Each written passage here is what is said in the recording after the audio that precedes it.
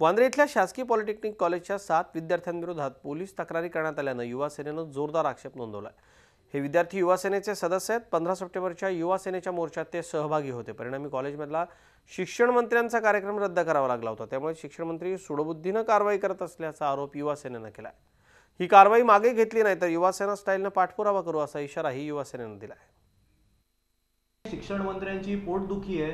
कुठेतरी त्यांचा कार्यक्रम रद्द झाला. म्हणून त्यांनी सूडबुद्धीने आज काढलेलं त्यांचं पत्रक आहे. पण या ठिकाणी आम्ही सांगू इच्छितो की युवासेना प्रमुखांसह संपूर्ण युवासेना ही त्या सगळ्या विद्यार्थ्यांच्या मागे उभी आहे. आम्ही एकाही विद्यार्थ्यावर एवढी छोटीशी देखील आम्ही त्यांच्यावर अन्याय होऊ देणार नाही. आणि म्हणूनच उद्या आम्ही संपूर्ण युवासेना कार्यकारिणी आणि युवासेनेचे स्थानिक पदाधिकारी असतील आणि सगळे आमचे युनिटचे पदाधिकारी हे आम्ही त्या प्राचार्यांना भेटून त्यांना आम्ही जाब विचारणार आहोत. झी चोवीस तास. रहा एक पाऊल पुढे.